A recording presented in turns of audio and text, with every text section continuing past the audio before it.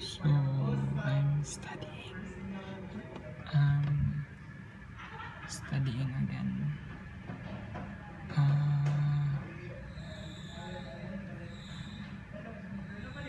so um, right now um, I'm in Jollibee and I'm studying because I have exam. I have two exams tomorrow, so I'm not sure if I have enough time to study.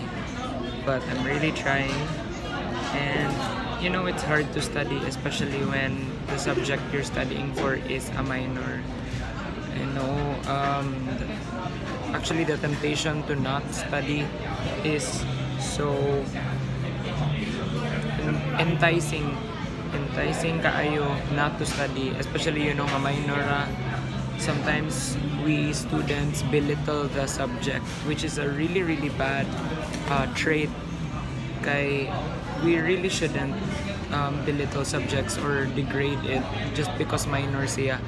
The fact nga it's part of our curriculum I think it deserves um, our effort you know bare minimum na gud sa usa ka student. We really have to effort. It's just that lisod kaayo because sometimes you want to study the majors na lang but you have to study the minors as well. So it's really finding balance of kanang of, of your time ba managing your time nga you get to study all.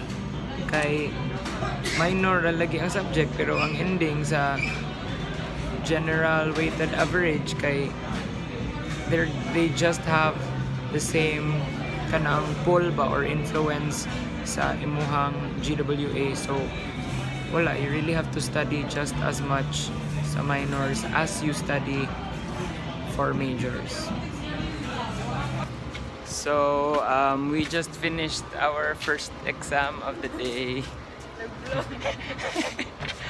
and it was so grabby good like first takers me like we were the first ones who took the exam so that was like added pressure on all of us. And then hopefully it went well raman kay I had time to review and I had a little bit of help from Madam Payos. Because Madam Payos is an angel she's so kind so I was able to kanang review good and then how was the exam Kyle? Good. It was fun, fun. Mine like how was the exam Joe? It was easy. Kat, how was the exam? I don't know.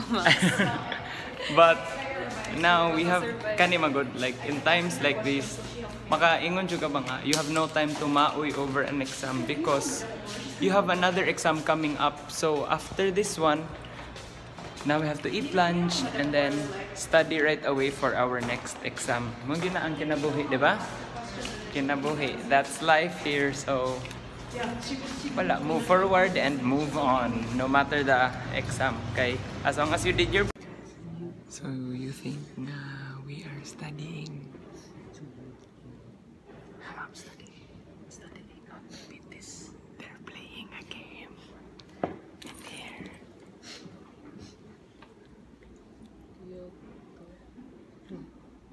Ah, diba? So much for studying. But it's okay because we already studied so many things for today. So, hapit na mo ang exam. Second exam for the day. I don't know if nindot ang result. Hopefully nindot. Good because we can open our books, like cell phones. Yeah. So, bantay sa takong dili taas mo ang score. Pinam So, I'm gonna study na kay Patay. We're gonna review. Di ba, Marapaw? Are you ready for the exam? No. He's ready. Marapaw is very smart. so, we just finished the exam and it was so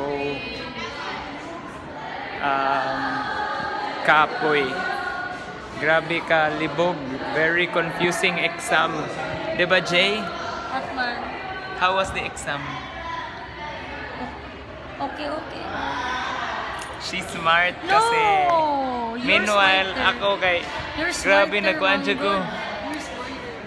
Grabe na ako ang pag critical thinking ato nga exam kay 35 ka 35 items nga modified. Ay dili sad modified pero true or false nga pina Morse code.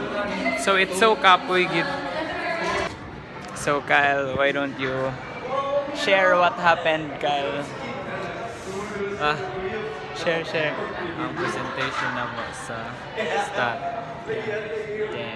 So, yabo kaayo ang among report. Whose fault is it? My. Ours. Our fault. Kani. Wait, sa, kaya naglagot magugugod nga no. Hello. Nga no ka naging mga teacher nga di manudlo. Oops! Ay, wala ko lang. Oops! Sorry, pero pero there really are kanang instances nga na yung mga teachers nga di mo teach, they just give you stuff. And amo ag yung sala because dili man ka dapat mag-rely nga nga kanang wala siya nag-teach. She gives you something to report about, you really Google it and don't depend on her. I depended on her. So mo to yabo, yabo kaayo amo ang presentation in front of the class pag yun and wrong, wrong tanan, nothing went right. Igo na definition sakto. Advantages and disadvantages sakto. Pag-abot sa data. mm. So what did you learn from this Kyle? Be able to work on pressure. Nga naman. Kaya katong paghimo na mo atong data, nagpadaw ko sa pressure, wa na ko ni analyze sa amo ang work. Ito siya. So next time, be diligent na lang siguro. Well, we will learn from this. We will bounce back, di ba? Move on na lang. Let's forget about that. Oh, reporting. Pag reporting, pa dyan niya. Dako kayo nagbira ba? Well, we just have to do better the next time. Vlog. Hello, Where are you going?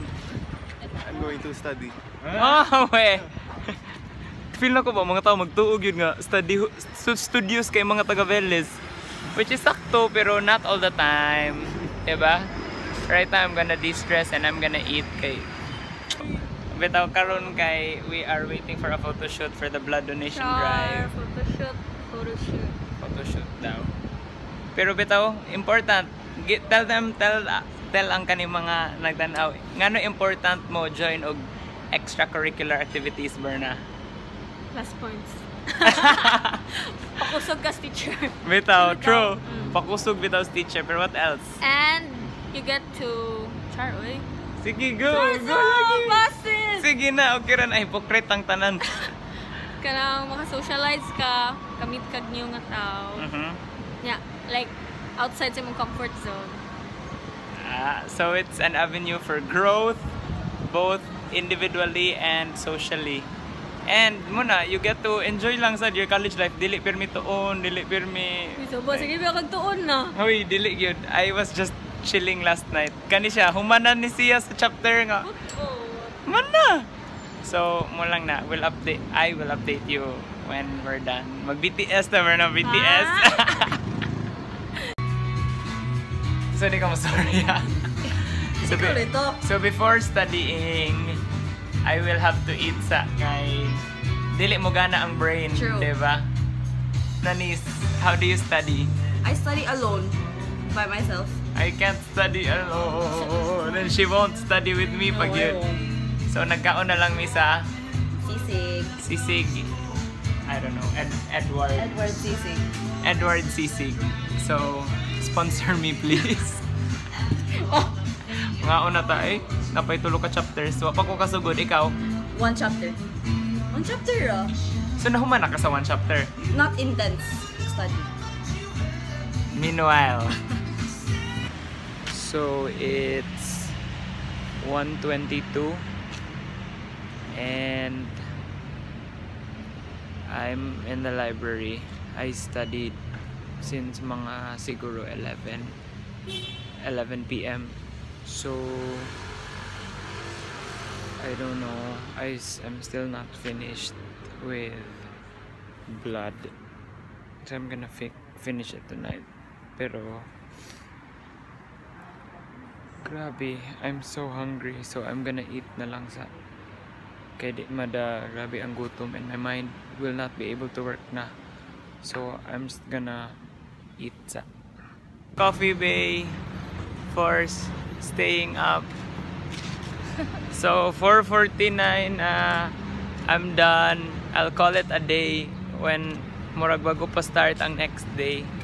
So I'm gonna Still eat. dark. Mukaon sa ako, mukaon me and then after muli na ako matug ko and then I'm gonna go to church and then I'm gonna study again. Ah, ah, I'm so tired but I'm feeling I, good. I think, Max, diba, when you're about to go to sleep, Unsa? your brain will be awake. Lagi feel na ako ini kahigda na ako sa dorm. The mitral valve the ay nako my gosh. That's very fun. I li- I enjoyed studying. I enjoyed my feel na ako productive ko. Daghang kay ko nahimo today with my Hi. Say hi. Guess who I bumped into guys? I bumped into my classmate. Bump into the jaundice. Kay magpa-print ako niya closed man.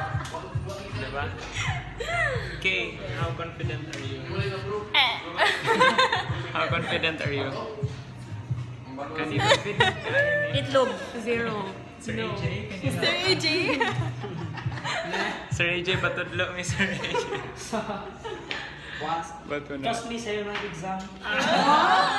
Sa'yo ng exam, multiple choice gihapon. Kapital tanan. Multiple choice gihapon, nga capital. Mara, easy lang, easy lang. perfect niya, mahuman 20 minutes. That's such a lie. 23. It's 2.23 and guess who I bumped into? Another vlogger. Uy, vlogger ko. Wala ko active. Sure. Lagi, vlogger ko. Wala ko active. Pero isa rin dyan ako ma-advise to everyone. Char. Marang mo. Ayaw ba na na shine ako. Sige na, sige na. Ano sa'yo mo advice? Dili na eh, from me jud. Like, it's not how long you study, it's how you study man na. So, ayaw mo ka pressure-pressure sa mga nahuman ug na kay para na ako pasad ko na magtaan. Today is exam day and I'm so sabaw or I'm so lutaw because I slept at 4 a.m.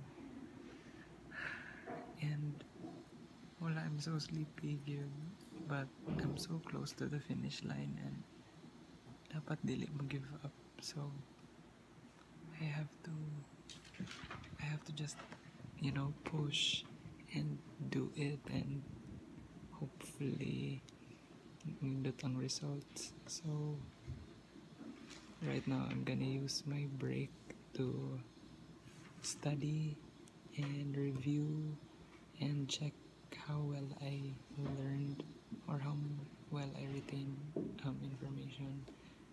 So yeah. So we just finished. It was so hard. It was so hard, dude. How was the exam? How was the exam? Dead.